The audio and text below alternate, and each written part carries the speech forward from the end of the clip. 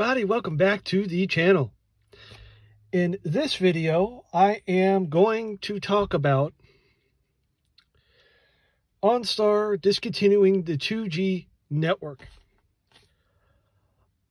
Uh, if you have a 2014 car or newer, depending on the model, or older too, I believe it's 2014 and older, I don't know about 2015, they're shutting down the 2G. Now, you will still be able to access certain things such as the diagnostics from the app and all that. Unfortunately, these buttons here will not work and the green light will turn an uh, orange color, meaning that there's no connectivity. But if you have a little bit of connectivity, it still should be. There are a few ways you can do this.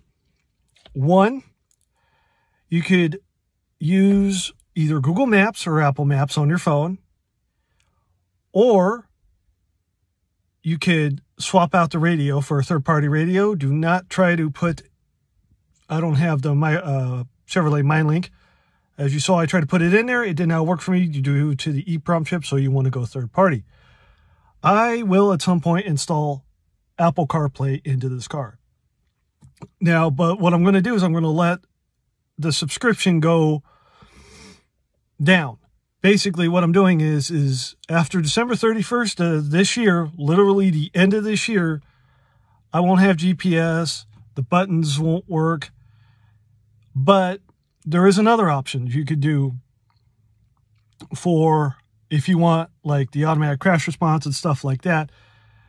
There's an app called the OnStar Guardian. Now that I have the camera turned around, I am going to install Apple CarPlay. This will all be different at some point.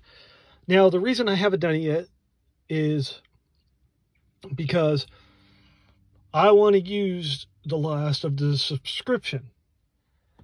So basically what I would have to do is either use my phone as a GPS, install a radio that's compatible with GPS, which is what I do have, or basically not deal with GPS at all and go the old school way and print stuff out.